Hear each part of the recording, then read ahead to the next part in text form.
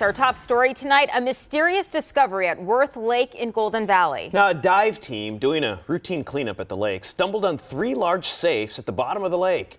As Ivory Hecker explains, it's reopened a criminal investigation.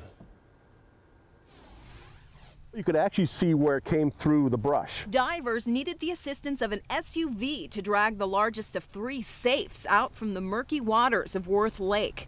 The surprising discovery Thursday happened while about 20 divers from the Midwest School of Diving were volunteering to clean trash out of the lake. Ended up being uh, zero visibility, so everything was done by feel.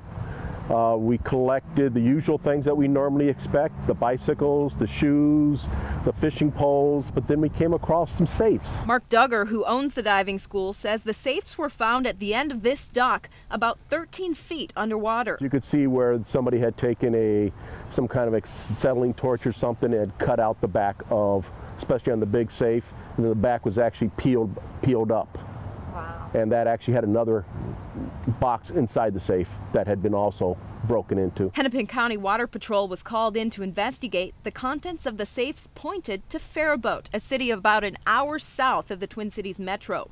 Sheriff's officials say they quickly alerted Faribault police. We found some documents of an individual that appeared lived in Faribault, some property titles and descriptions, along with some uh, appear to be financial statements. Now, I spoke with Faribault police today. They say the safes found in Wirth Lake could possibly be connected to a 2014 burglary in Faribault.